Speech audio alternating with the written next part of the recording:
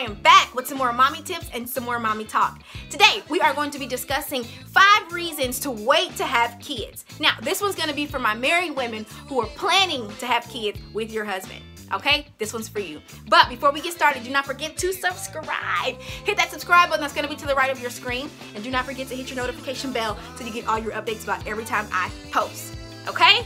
Thank you all so much for watching.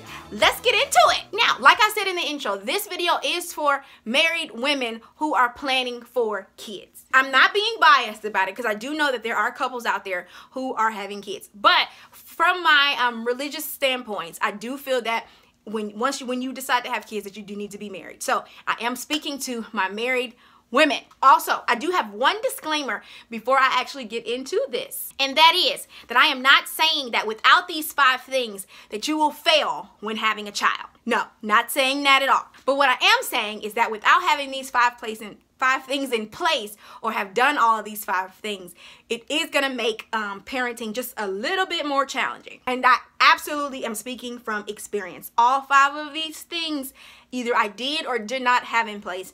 And um, it made things easy, more or less easier or more or less challenging. So with all that being said, let's get into it. One, get adjusted to married life.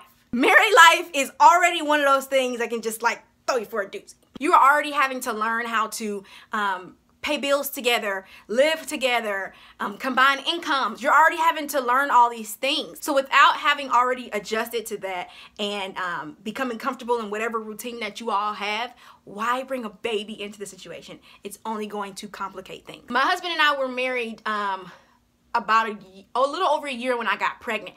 But when I had him, I had him April 5th, 14th, and our anniversary is April 27th. So I'm I had him April 14th, two weeks later was our two year anniversary. So we had roughly two years to get adjusted to married life. Now, as you all know from my um, labor story video, I was not planning on my first one, but the good Lord saw it fit for me to have a baby. So we said, amen. Yes, we would have liked a little more time to get adjusted, but we did have that two years to get adjusted to things, to become more comfortable with each other, and to just get some things in place before I actually got pregnant, and especially before I had him. So if you need more time, I would definitely say to wait, to wait.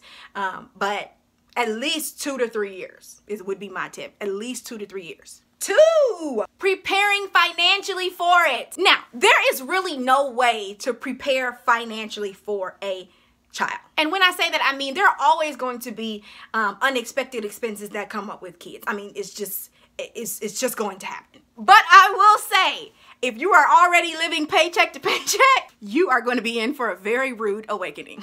have a savings, have an emergency fund, have something put up because you're gonna need it.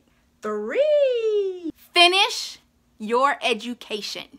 Education is something that can definitely impact fi finances in, the, in a positive way. And if you finish your education before you have kids, you have time to get into that position or into that job that is going to pay you what you need to support a family.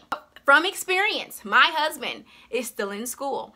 Um, he's going to school for Christian counseling, and it's a it's really really difficult when um, you have to give kids baths and you have to cut the grass and you have to go to work and then you have to come home or wake up super early in the morning before work to do homework and write papers and all this stuff. It's just a lot. You can get through it. There are plenty of people who have kids and have finished their education and gotten jobs and made it work and, and yes, but the path to it can be very, very stressful and very, very difficult, especially for a new young family. So finish your education pre-baby. Four, travel. Go out of town. Go on vacation with your husband. Get out. Just travel. Just, just, just go. Because it all comes to a screeching halt when you have kids. Not to say that you aren't that you won't be able to travel if you have children. Let me let me just put that out there. But things do become a little bit more complicated in regards to traveling. Think about breastfeeding. You can't leave. Babysitters grandparents, aunties, uncles, they don't want to take off all their use all their vacation time at work so that you and your husband can travel. No. So a lot of your vacations are probably going to be family vacations with the kids. My husband and I do take a trip, just him and I, once a year for our anniversary, and I can depend on my family to hold hold us down for that. But all these other sporadic vacations, No. I try to do a trip by myself when he's at home with the kids. He tries to do a trip by himself while I'm at home with the kids. We do our trip together, me and him for our anniversary, and then we do our family vacation in the summer. So get your traveling out the way.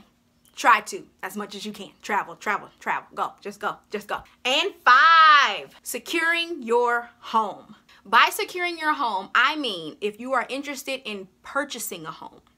My husband and I were in the process of getting our credit and stuff together to, to purchase our home when I found out I was pregnant. And I was flipping out because I didn't know if it was going to screw us up. But come to find out, we were in the best position because the baby had not came yet. I was still working at the time, so we were able to still use two incomes. Think about that because after you have a baby, moms, if you want to stay home, that means your two incomes goes down to one income. Also, because we did have two incomes, we were we were at the time paying off a lot of our bills, which was helping our credit scores go up. And this kind of ties back into when I say prepare financially. Realize that after you have a baby, sometimes you may not make the best decisions um, in regards to doing what you have to do to survive you might have to use a credit card sometimes to go grab some Similac. If the baby needs diapers and you have this bill that's due, what are you gonna do? Which can sometimes make your credit score drop down. And not to say that this is for in, re in regards to everybody. I know that this is not for everybody. Some people out there will be fine.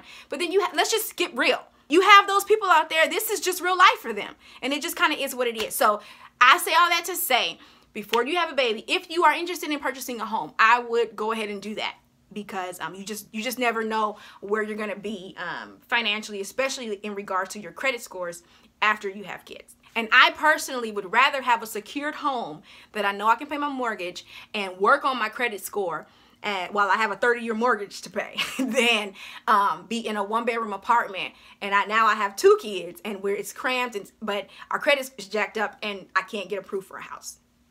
That's just me. All right, mommies. That's all I've got for you today. I truly, truly hope that you enjoyed this video. Now, if you did not, if you have any questions or comments or concerns about anything that I said in this video, please leave me comments down in the comment section below and I will be sure to get back with you as prompt as I can okay? And if you did enjoy, please leave me comments down in the comment section below. I need to hear it, you guys. I need to hear it, okay?